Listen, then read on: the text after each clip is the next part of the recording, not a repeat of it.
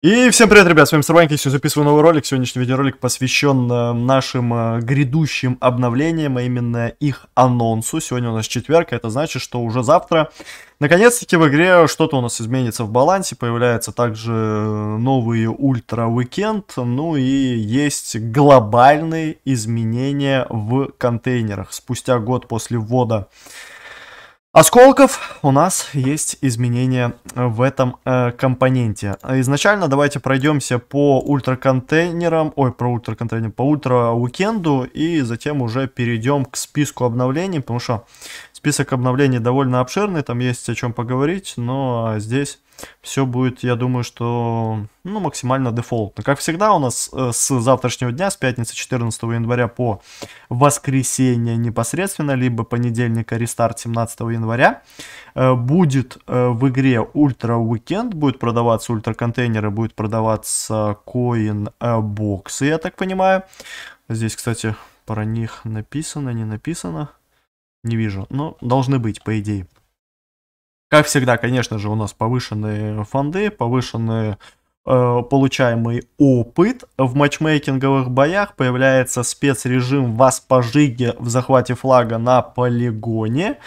Не скажу, что это самый лучший э, формат для воспожиги, да, все-таки э, в моем понимании воспожига больше подходит, конечно же, ЦП, на полигоне. Посмотрим, что будет в CTF, но я думаю, что ее мы катать скорее всего не будем. Появляются также, конечно же, супермиссии. Появляется в ультраконтейнерах новое устройство на Twins, которое называется тектоническая плазма. Это устройство, которое оглушает противника. 7 э, ультраконтейнеров э, со всех супермиссий. Ну и здесь по дефолту на каждой пушке да, э, в зависимости от того, к чему она принадлежит, ближний бой, средний бой, э, дальнобой и еще пачка дальнобоев, да, то есть здесь даже не дальнобой, а это получается, можно так сказать, splash пушки, да, смоку, если мы будем считать как splash пушку, а здесь уже полностью дальнобойный, хотя вот если бы здесь, например, бы магнум был бы вот тут вот, а смока тут, было бы более правильно, ну ладно, окей. Э, появляются также два специальных предложения, ну, довольно стандартные, дефолтные, плюс э, большой спецпак за 20 тысяч с 200 ультраконтов, если вспомнить, что у нас было на новогодних праздниках, там было 150, поэтому здесь, ну, более-менее нормально, хотя нужно понимать, что мы видели 300 ультраконтейнеров, соответственно, ну, как-то, ну, не самое крутое, наверное, что могло бы быть в этом плане. Двойные фонды я сказал, ну и понятное дело, что билборды и вся вот эта вот тематическая штучка у нас завтра будет. Ну а теперь переходим уже к самому интересному, к чему, э, чего я лично ждал. И я ждал, скажу сразу, намного большего увидеть здесь. Э, и как по мне, как по мне, изменений э, как таковых в балансе довольно мало, но есть очень изме- интересные изменения с контейнерами, о которых мы пройдемся и пройдемся, я думаю, что довольно-таки подробно. Э, в ультраконтейнерах сначала, как я уже сказал, добавлено новое устройство на Twins. Э, дальше у нас добавлена индикация перезарядки в подсветке цели. Когда пушка перезаряжается, цель э, приобретает оранжевый контур, поменяли цвет, я так понимаю, да? Ну и вот изменения в контейнерах, изменения в стандартных контах. Теперь э, по свечениям э, есть э, следующие проценты. Не знаю, какие проценты были до этого момента, да, но если, например, сравнивать эти проценты с обычных контейнеров и ультраконтейнеров, то в ультраконтейнерах здесь как раз-таки этот шанс больше. И смотрите, самое, что интересное, это то, что Белое свечение здесь шанс 50%. В ультраконтейнерах белое свечение шанс меньше 1%. То есть плохого дропа с контейнеров вам будет падать намного-намного меньше завтрашнего дня. Также с обычных контейнеров убраны золотые ящики, премиум аккаунт, скины и наборы из всех припасов. Добавлены легендарные устройства для пушек, ранее доступные только в ультраконтейнерах, добавлены эффекты выстрелов и краски, ранее доступные только в ультраконтейнерах или челленджах, добавлены пушки МК-1, корпуса МК-1 и дроны, за исключением дрона Брут и Кризис. Теперь из контейнеров можно будет полноценно выбивать пушки корпуса. МК-1 модификации. Ну, не знаю, насколько это правильно. Что мне, например, с контейнеров упадет мой шафт. Но, например, условные дроны, это интересно. А, за исключением дронов. А, ну тогда...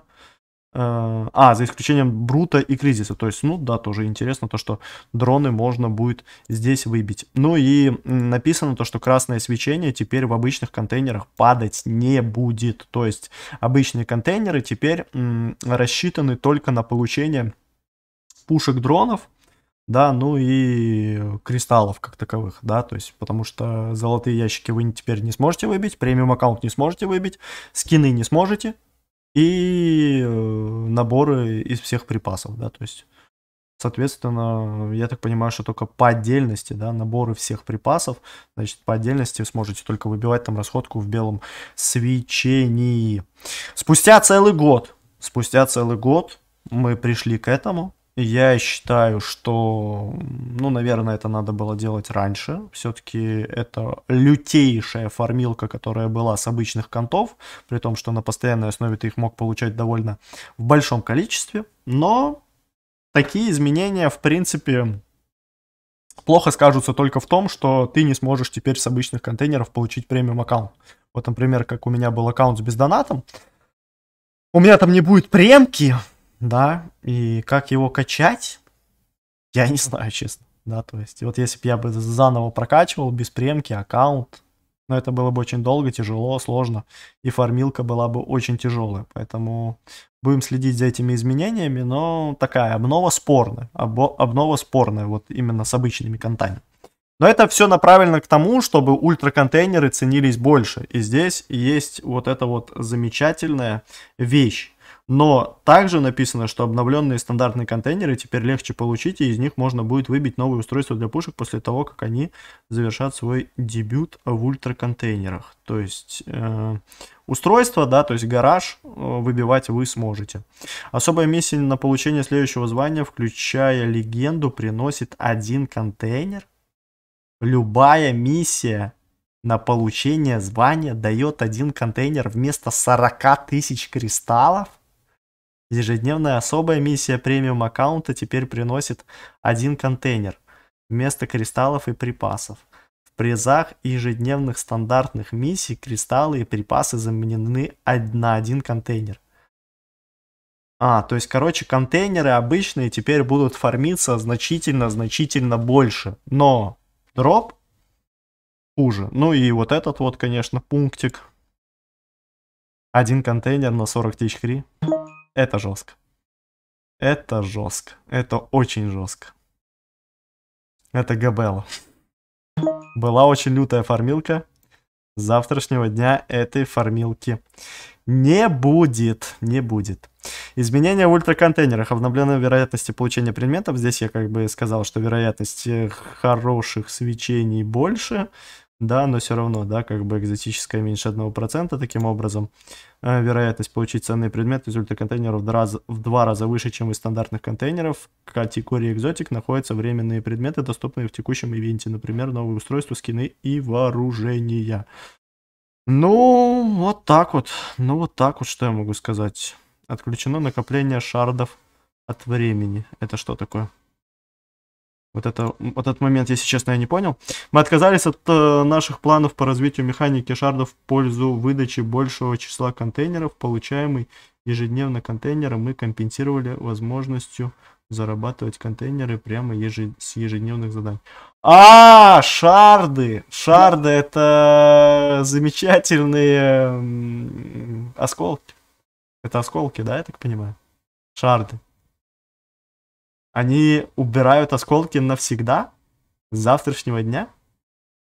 Если я правильно понял, то да. Осколков больше не будет. Ну, это очень-очень интересно. Спустя год они поняли, что это жесткая формилка. И то, что ее надо занерфить. Ежедневная особая миссия. Особая ежедневная, да? Приносит один контейнер в призах ежедневных стандартных миссий, кристаллы и припасы заменены на один. Короче, все, да, я понял. Я понял, да. Ну, такое, такое. Год пофармили, а теперь как забыть это все дело? Сложновато будет. Очень сложновато будет это все забыть. Но как есть, так есть. Огнемет.